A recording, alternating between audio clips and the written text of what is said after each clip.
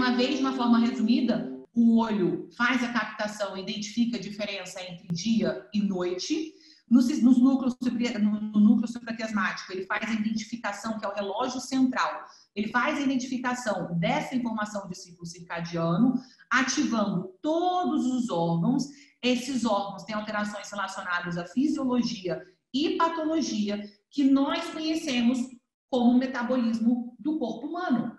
Nada mais é do que a gente entender o funcionamento e a ação dos clock genes sobre cada órgão, cada célula do corpo humano. Por isso que comer tem uma janela, dormir tem uma janela. Para eu tratar doenças autoimunes, eu preciso resolver o problema do ciclo circadiano.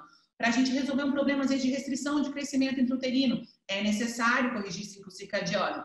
Não é luxo corrigir ciclo circadiano, é entender a fisiologia e a necessidade imediata de se ajustar uma alteração fisiológica básica, que é o dia e a noite dentro do metabolismo humano.